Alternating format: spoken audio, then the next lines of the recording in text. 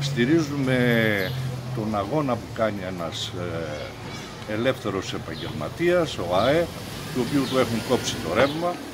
Είμαστε μέλος της Επιτροπής Αγώνα για την Ακρίβεια Κούμπας. Στα πλαίσια ε, της Επιτροπής Αγώνα, εμείς διεκδικούμε να, ε, να γίνει επανασύνδεση στο ρεύμα αυτού του ανθρώπου, να μην γίνει καμία διακοπή ρεύματος σε μαγαζιά μικρών επαγγελματιών, διαγραφή χρεών που δεν έχουν να κάνουν με το ηλεκτρικό ρεύμα, κατάργηση της ρήτρας, ρήτρας αναπροσαρμογής. Θέλω να δηλώσουμε την αμέριστη συμπαράστασή μας για αυτή τη διακοπή ρεύματος που γίνεται στην περιοχή μας στην Τούμπα, αλλά θα συμπαρασταθούμε και κάθε άλλη οικογένεια και επαγγελματία σε αυτά που αντιμετωπίζει.